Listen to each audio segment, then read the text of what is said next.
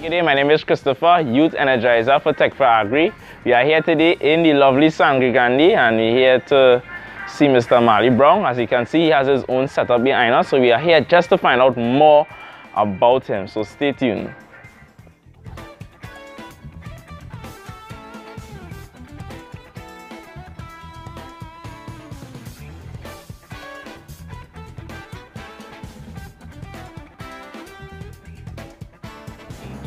Hi, my name is Marli. I'm 32 years of age.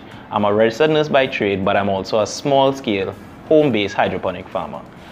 I started hydroponics back in back about three years ago, where um, I started as on a small scale, watching YouTube videos and learning basically about people growing lettuce, pak choi, in a water-based medium. Um, I realized, listen, you don't have to do a lot of hard work, you don't have to do a lot of back-breaking work, you don't have to be on a tractor. So I decided this is the agricultural venture for me. Um, eventually, I did a, a, course with the Ministry of Agriculture just to see if they had anything different from the YouTube videos. And then from there, a year later, I ended up moving to Grande. When I moved to Grande, I noticed I have a lot of space in the back of my yard. And from there, I started my hydroponic systems.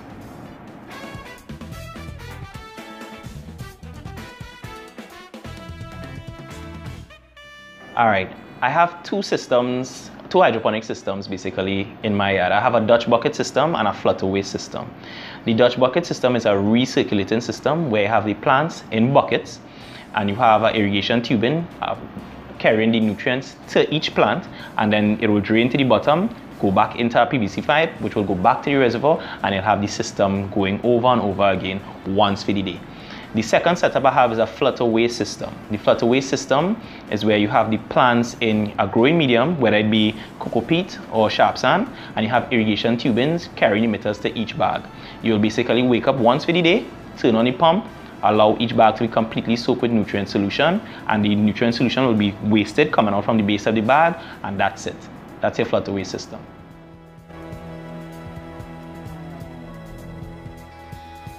System I'm going to be talking about is my Dutch bucket system. Right, Dutch bucket system, as I said before, is consistent of buckets. Right, each bucket has coco peat in it. The plants are anchored in the coco peat. You have a reservoir with a nutrient solution. It's circulating the nutrients to each bucket and then it will drain right back into this return pipe, straight back to the reservoir, and it's done on a timer system. So you just set it and forget it. All right, this is my second system and this is a profitable system. This is a flutterway system. This system, basically, you'll have two tanks, one with nutrients, one with water. What I'll do, I'll come in the morning, I'll turn on the tank with the nutrients via the pump and I will irrigate each bag with the nutrient solution. The nutrients will flood each bag and it will waste at the bottom. And that's why we call it flutter waste because we don't recirculate the nutrients in this system.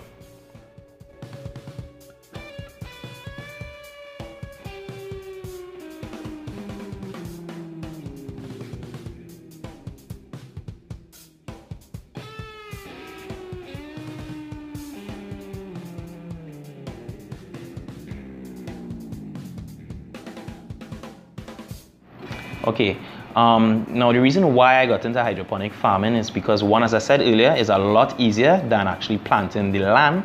And secondly, you can actually make a significant amount of money from the systems that you, that you create because of the fact that you won't lose as much crops as you may when you plant in the soil.